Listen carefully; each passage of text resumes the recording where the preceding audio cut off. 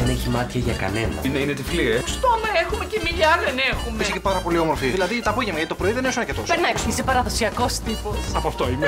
Μου ζήτησε να κάνουμε κάτι που κάνουν τα ζευγάρια. Να τη χωρίσεις, θα είναι και έκπληξη. Μπράβο. Τι είχε, Γιάννη, τι είχα πάντα. Δεν έχω ρίξει για τίποτα. Θα σου πω, παγωτό, πατατάκια. Η πολυκατοικία. Καθημερινά στις 4 το απόγευμα στο Μέγκα.